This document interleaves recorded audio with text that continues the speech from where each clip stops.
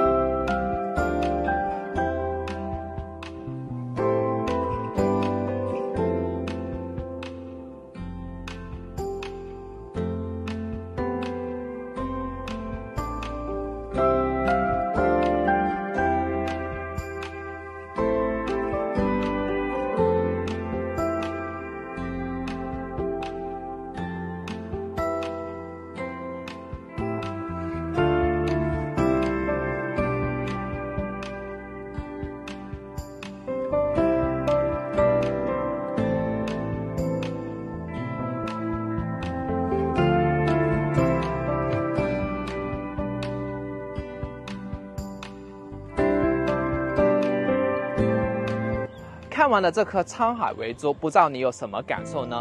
在评论区告诉我吧。